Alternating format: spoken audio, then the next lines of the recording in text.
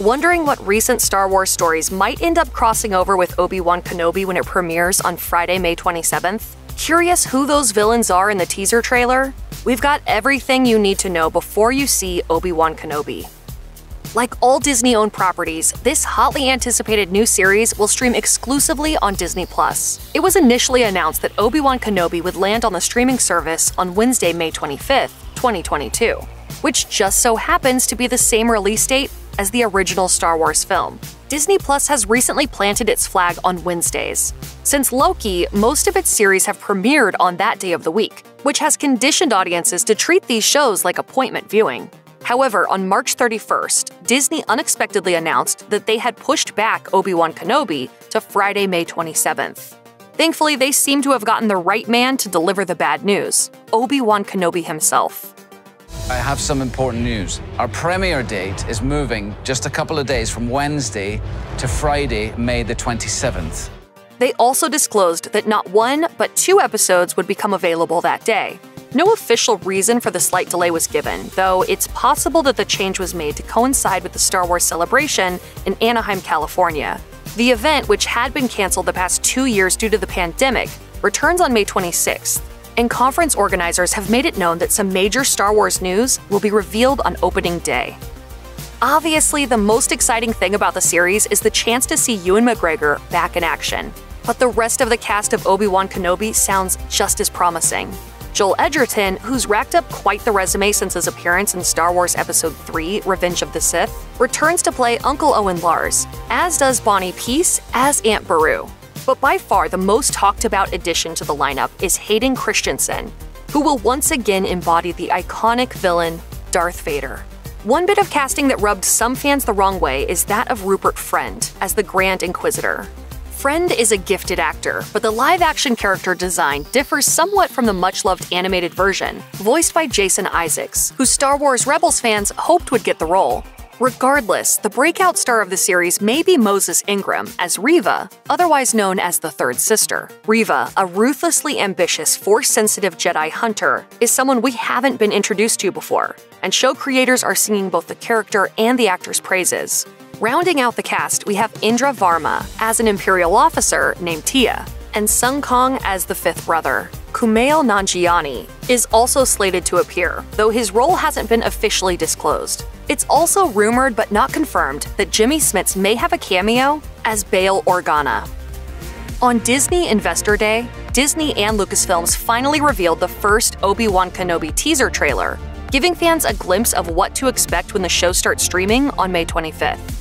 The footage shows an older Obi-Wan living alone in a cave on Tatooine as he keeps watch over a young Luke Skywalker.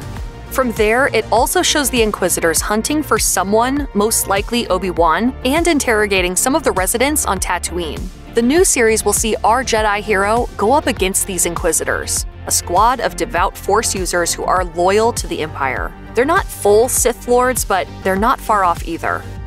The dark side of the Force is a pathway to many abilities some consider to be unnatural. The trailer also features scenes of Reva and the fifth brother in a dark cityscape with neon signs lighting up the area. So clearly, the series isn't just going to stay on the sandy dunes of Tatooine for all six episodes. Unfortunately, it doesn't give us a look at Darth Vader in action, although his iconic breathing ominously fades in as the Obi Wan Kenobi title comes up at the end of the trailer. But a new still from the series shows the villain surrounded by shadows. And according to returning star Hayden Christensen, fans will see a very powerful Vader. Hopes for an Obi Wan project go back to Disney's acquisition of Star Wars in 2012. The following year, Business Insider reported that then CEO Bob Iger planned to produce several standalone Star Wars films. After a fan made trailer for an Obi Wan film went viral, The Hollywood Reporter conducted a poll to see which legacy characters audiences most wanted to see in the proposed Star Wars stories. Master Kenobi was the clear winner, and news soon broke that an Obi Wan spin off was being developed with director Stephen Daldry attached. Then, Solo A Star Wars Story underperformed at the box office, triggering Disney to put all of its planned standalone movies on hold. The company was about to debut its new streaming service, and the Star Wars Story Group turned its attention to small screen projects, most notably The Mandalorian. At 2019's D23 event, Kathleen Kennedy confirmed that the Obi Wan movie was being retooled as a series. Deborah Chow, who directed two highly rated episodes of The Mandalorian, was hired to helm all six episodes of Obi Wan Kenobi, and production was slated to begin in 2020. Ewan, Yes? Are you going to play Obi Wan Kenobi again? Yes. However, the series was paused once again because of issues with the scripts. After the success of The Mandalorian, Jon Favreau and David Filoni expressed concern to Deborah Chow that the two series plotlines were too similar. A major rewrite later by Joby Harold, and a COVID delay later, and Obi Wan Kenobi at long last began filming in earnest in 2021. Star Wars lore is so dense and far reaching that even the most well versed fans sometimes have to consult the galaxy's own timeline, which uses the Battle of Yavin from A New Hope as its year zero. Obi Wan Kenobi will take place approximately 10 years after the events of Revenge of the Sith, and 9 years before A New Hope or 9 BBY, at which point the Empire is at full power. That means Luke Skywalker is also approximately 10 years old, and it implies Obi Wan has been successfully carrying out his mission to keep himself and his young charge hidden for about a decade. This is the time period that makes the most sense to explore for a variety of reasons. First off, the Clone Wars, set around 22 to 19 BBY, fleshed out pretty much everything that happens between episodes 2 and 3. Next, McGregor is too old to portray Obi Wan prior to the prequel story, and too young to portray him in the events leading up to Rogue One, a Star Wars story, and A New Hope. Beyond that, we canonically know the least about what became of the Jedi Master during this era, which gives series creators more flexibility with the character and story arc. Other significant Star Wars events that occur around this time include Solo around 13 to 10 BBY and Star Wars Rebels around 5 to 2 BBY, so it's not out of the question that some plotlines from those projects might intersect with Obi-Wan Kenobi. The scripts for Obi-Wan Kenobi underwent some systemic revisions. The Hollywood Reporter suggests that the first batch of drafts saw Obi-Wan watching over young Luke and evading Darth Maul. However, Dave Filoni and Jon Favreau wanted Deborah Chow to take her series in a different direction, one that better factored into the bigger Star Wars picture and highlighted Vader rather than Maul. We probably know the least about the story itself. Disney Plus has let slip virtually no details about the plot in its promotional campaigns or official descriptions. We can piece together that Inquisitors are actively pursuing Jedi who managed to survive Order 66, and anyone resistant to the Empire who might possess Force sensitivity. Since we know that many of the characters featured in the trailer survived the events of the series to appear in future installments, it's unlikely that showdowns between any of these characters will serve as the series' primary purpose. The trailers advertise a fairly action packed product, but as Obi Wan can't really use his lightsaber in public and almost everyone is sure to make it out alive, expect Obi Wan Kenobi to be a little existential. The show will probably be about his emotional journey as much as it will be about running and hiding from Inquisitors. Even people who've never seen a Star Wars film know who Darth Vader is, but he's probably not the big bad of the Obi Wan series. Disney and Lucasfilms prefer to use Vader in small doses, like at the end of Rogue One or in select episodes of Star Wars Rebels. Christensen's casting definitely portends more screen time for the Sith Lord, and we know from an Entertainment Weekly interview with McGregor and Christensen that they do share scenes together. But it's established in A New Hope that the two haven't had much interaction since they parted ways in Revenge of the Sith. Their encounters will have more impact if they're few and far between.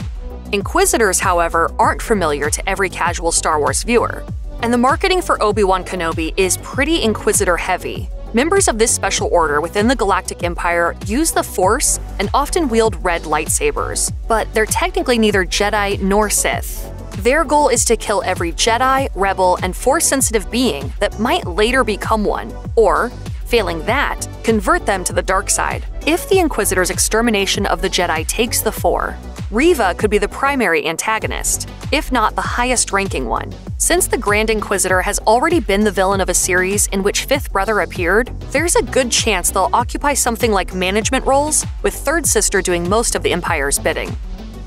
After spending a significant portion of the Skywalker saga, The Mandalorian, and almost the entirety of the Book of Boba Fett on the crime ridden desert planet in the Outer Rim territories, even the most nostalgic among us were getting a little weary of Tatooine. As enthusiastic as we were for an Obi-Wan series, the thought of enduring another six episodes exclusively among moisture farms and Mos Eisley was a real drawback. But fear not, the creators of Obi-Wan Kenobi have engineered a way to get us off-planet at least twice. The Direct observes that the trailer includes a pair of shots that almost certainly depict the water moon of Nur, the homeworld of the Fortress Inquisitorius, which is the headquarters of the Imperial Inquisitor program.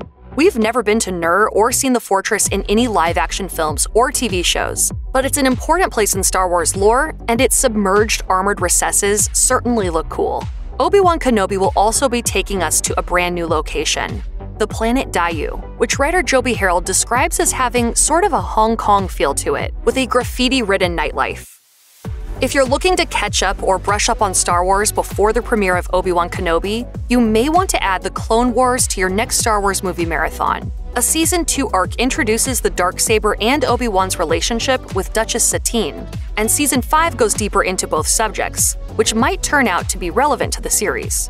However, with all these Inquisitors loose in the galaxy, Star Wars Rebels and the video game Star Wars Jedi Fallen Order may provide a more substantive education.